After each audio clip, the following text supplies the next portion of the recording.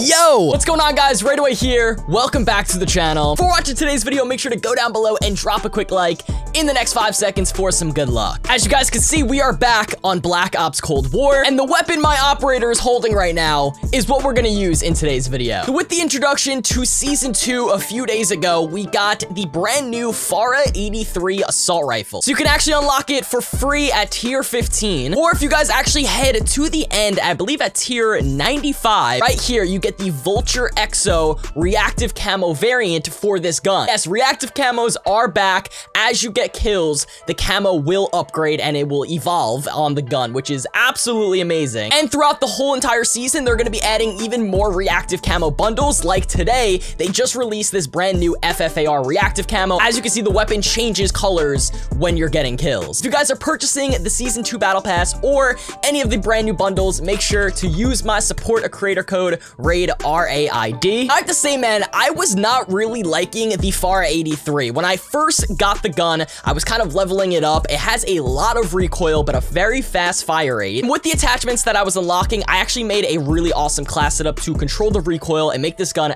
actually pretty good. So we'll jump into the gameplay, and then at the end, I'll show you guys the class setup that I'm using. Remember to subscribe for more Black Ops Cold War videos each and every single day, and let's jump right into it. Down.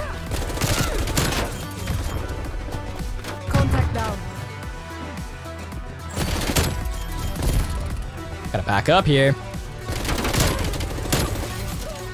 Has like the fire rate of the FFAR, but like the style of the Krieg.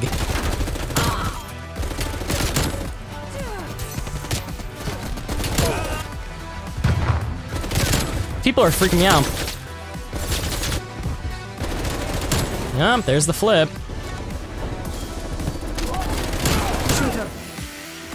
Got the death machine, we're on a seven. I don't know what to do here.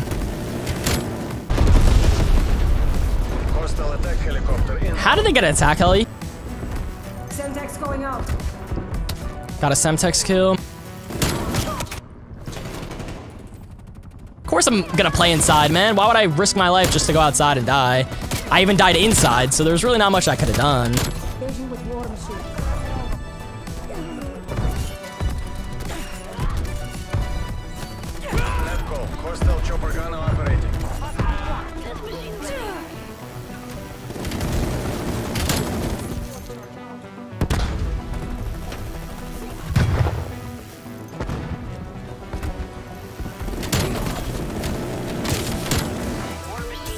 I'm on another 11. Okay.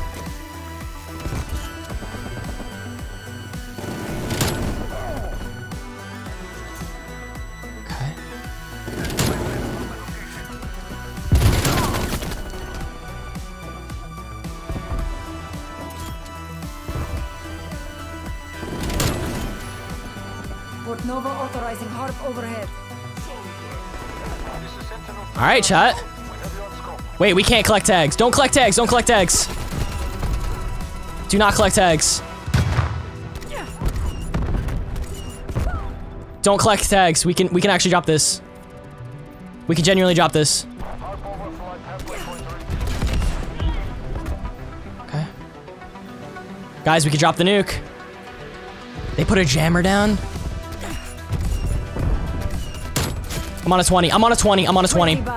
Oh my god, I'm on a 20. War machine firing for effect.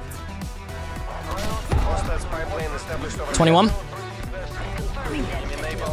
Enemy napalm, gotta get inside. 22. Guys, do not collect the tags. Do not collect the tags. I'm dead. No way. What were you doing? What were you doing? Eliminate the death machine.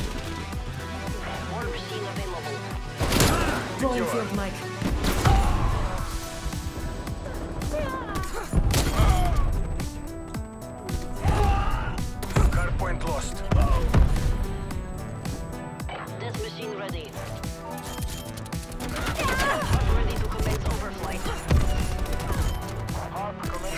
Oh my god, what am I doing?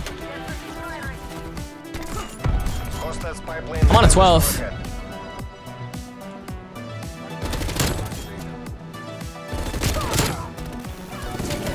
I've been using that controller since I was freaking out of the womb. No point in switching now. Hmm. I'm dead. I'm on a 18. I'm dead. Dude, how am I not dying? We're on a 20. We're 10 off the nuke. Vinny, I'm gonna drop this nuclear for you. If I die, then I'll still kiss you. No! Oh my god, he had the death machine. I'll still kiss you though. But I heard that they're making um they're making a daytime version of this map sometime in season 2 and they're actually making the map smaller and brighter. So I actually have a feeling that the new Miami map that they come out with, you know, it, when it's in the daytime and the map is smaller, I think it might actually be de like decent. I don't like Miami, but if the map was smaller, I feel like it could actually work.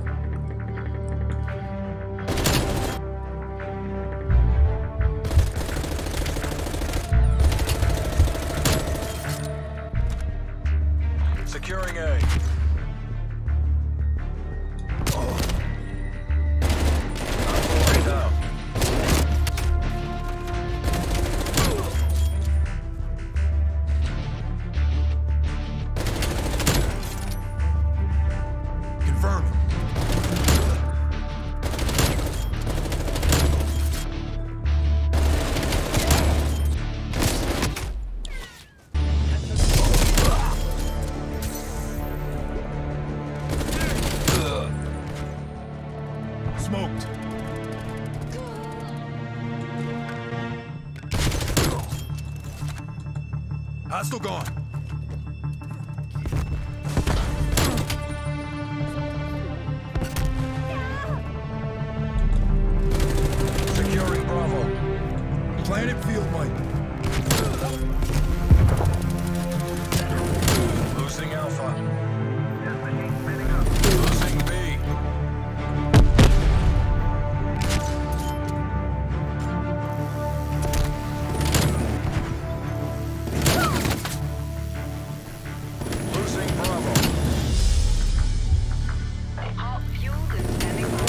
If I drop a nuke on this map, I'm I don't even know what to think anymore. TACCOM, begin HARP operation. Enemy took Alpha. Commencing recon. Sighted flashbang. I was about to say, bro. Charlie secure.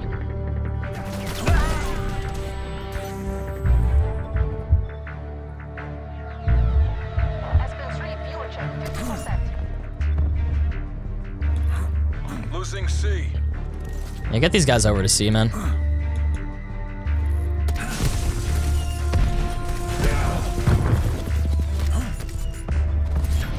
Enemy took C. Hello? Yo, what is this lag?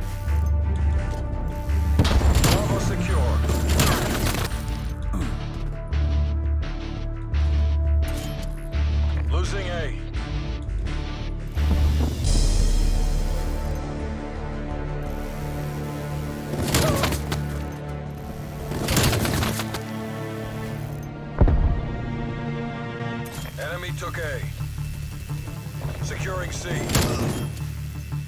20 by.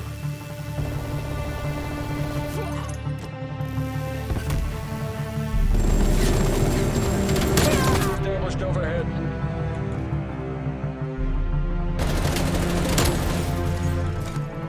Good effect on target. ready for use.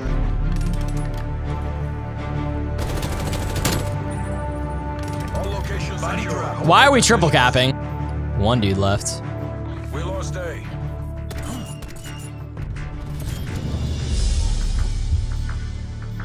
Let the dude climb up. Sentry turret active. Hostile spy plane established overhead. One away from the nuke. Securing A. Finally. Finally!